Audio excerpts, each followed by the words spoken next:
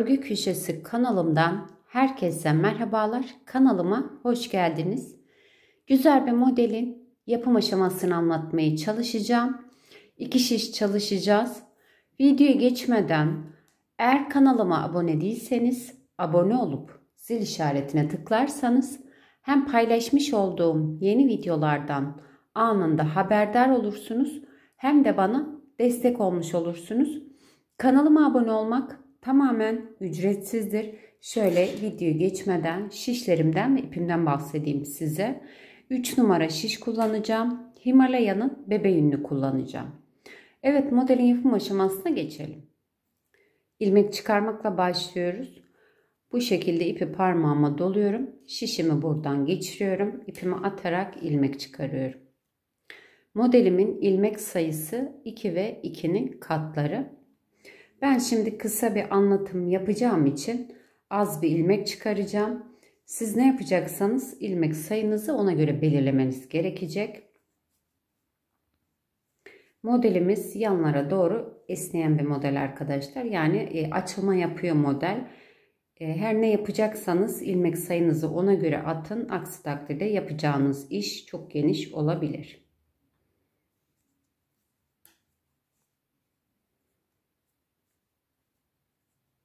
Evet şöyle çıkardığım ilmeklerimi bir sayacağım. 2, 4, 6, 8, 10, 12, 14.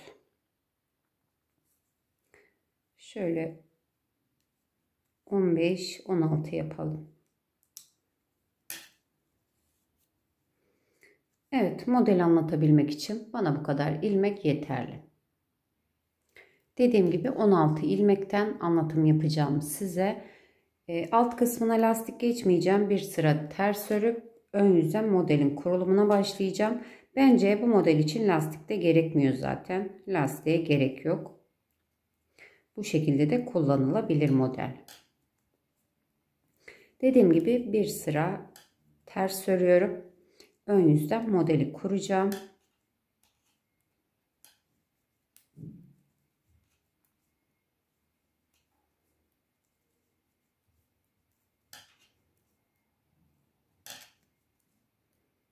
Kenar ilmeğini de ters olarak ördüm. Şimdi ön yüzdeyim ve modeli kurmaya başlıyorum. Evet kenar ilmeğini örmeden aldım. Kenar ilmeğinden sonra bir ilmek düz örüyorum. İpi benden yana aldım. Sıradaki ilmeği örmeden şişimi aldım. Bir ilmek şöyle düz. İpi benden yana alarak bir ilmek örmeden alıyorum. Bu şekilde de üzerine dolamış oluyorum. Sıradaki ilmeği düz ördüm. Bir arttırdım. Bir örmeden aldım. Sıradaki ilmeği düz ördüm. İpi benden yana aldım. Burada bir arttırmış oluyorum. Sıradaki ilmeği örmeden alıyorum. Bir ilmek düz örüyorum. Modelimiz aslında hep bunun tekrarı. Örmeden aldım ve kenar ilmeğini düz ördüm.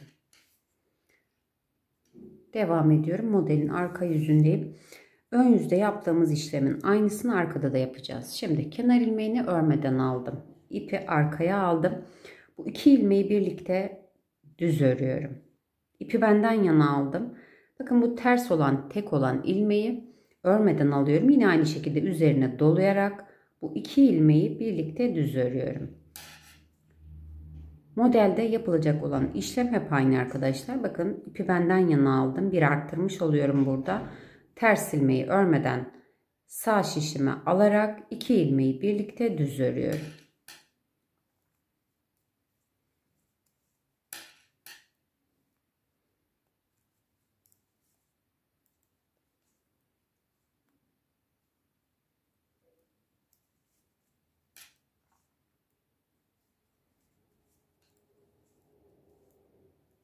Kenar ilmeğini de düz ördüm. Modelin ön yüzündeyim.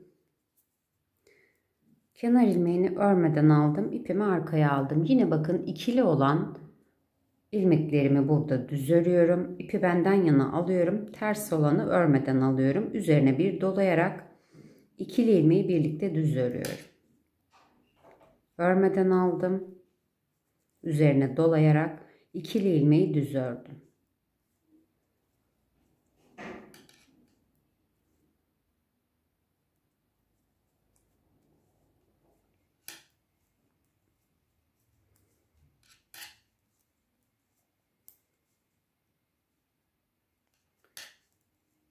Şöyle arttırdım. Örmeden aldım. Kenar ilmeğini düz olarak örüyorum. Devam ediyorum. Modelin arka yüzündeyim. Kenar ilmeğini örmeden aldım. İpimi arkaya alarak bu iki ilmeği birlikte yine düz örüyorum. İpi benden yana aldım. Ters ilmeği örmeden şişimi alırken bir de arttırma yapıyorum üzerine. İki ilmeği birlikte düz ördüm. Modelde ön yüzde ve arka yüzde yapılacak olan işlem hep aynı arkadaşlar. Şu anda tabii ki modelimiz anlaşılmıyor. Çok şık bir model. Gördüğünüz gibi model devamlı kendini tekrar ediyor. Yapımı da oldukça kolay. Örmeden aldım. Şöyle kenar ilmeğini ördüm.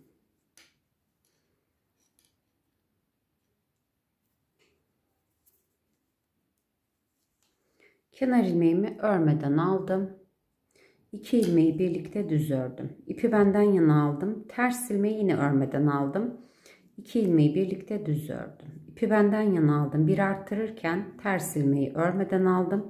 İki ilmeğimi birlikte düz ördüm.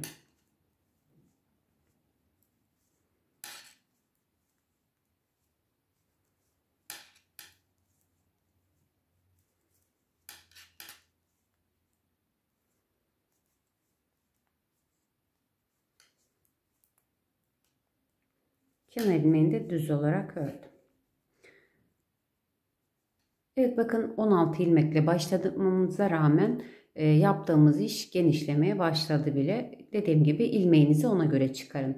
Şimdi bakın şuradaki ilmek sayımız 4 tane olana kadar aynı işleme devam edeceğim. Ben kamera arkasında sırayı tamamlayıp geliyorum. Evet ben şöyle sıramı tamamladım. Bakın şöyle 1, 2, 3, 4 tane olana kadar ön yüzde bu işleme devam ettim. Şimdi modelimin arka yüzündeyim. Kenar ilmeğinden sonra arka yüzde bütün ilmekleri ters örüyorum. İkili olanları da ters örüyorum. Tek olanı da. Şöyle ilmeklerimizi bir sıra arka yüzden ters örüyoruz. Daha sonra ön yüzden tekrar modeli kuracağız ama kaydırmalı olarak kuracağız modelimizi. Arada şöyle bir geçiş olması gerekiyor. Onun için de arka yüzden bir sıra ters örgü örüyorum. Bütün ilmekleri. Şöyle kenar ilmeğinde ters ördüm. Evet. Şimdi tekrar dediğim gibi modeli kuracağız ama kaydırmalı olarak kuracağım. Kenar ilmeğini örmeden aldım. Şimdi bu düz ilmeği bu araya kaydıracağız. Bunun için de ipi benden yana alıyorum. Sıradaki düz ilmeği örmeden alıyorum ve bu ilmeği düz örüyorum. Burada tabii ki bir tane de arttırıyoruz.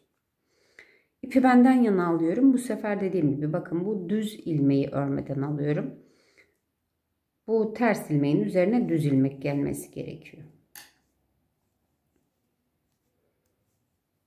Modeli kaydırmış olduk. Yine tabii ki yapacağımız işlem aynı bir değişiklik yok. Bu şekilde yine bu sırayı da şuradaki sayı 4 alana kadar devam edeceğim. Kenar ilmeğini de ördüm.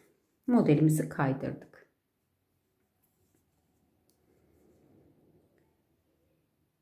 Ters olanı bakın örmeden alıyorum. İki ilmeği birlikte düz örerken burada da bir tane arttırma yapıyoruz. İşlem yine aynı. İpi benden yana aldım. Ters ilmeği örmeden aldım. 2 ilmeği birlikte düz ördüm.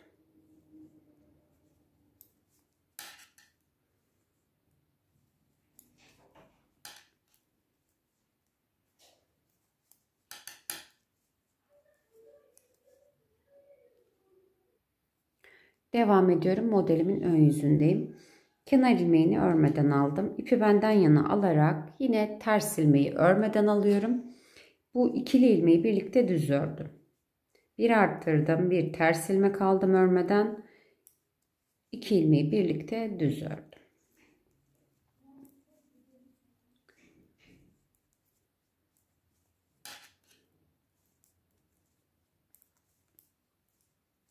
Bu sıradan sonra daha devam etmeyeceğim. Modelde dediğim gibi sürekli kendini tekrar ediyor. Kamera arkasında modeli ben büyük bir parçada denedim. Bir de onu göstereyim size. Şimdi bu sıramızda yine şöyle 1, 2, 3, 4 olana kadar ön yüzden devam edeceğiz. Daha sonra bu sıradan sonra yine bu ilk sıranın tekrarına dönülecek. Kamera arkasında ördüğüm büyük parçayı göstereyim size. Bu da kamera arkasında denemiş olduğum büyük parça. Modelimizin daha büyük hali bu şekilde. Dediğim gibi bence alt kısmına lastik örmenize gerek yok. Bu şekilde gayet düzgün duruyor model zaten. Burası da arka yüzü.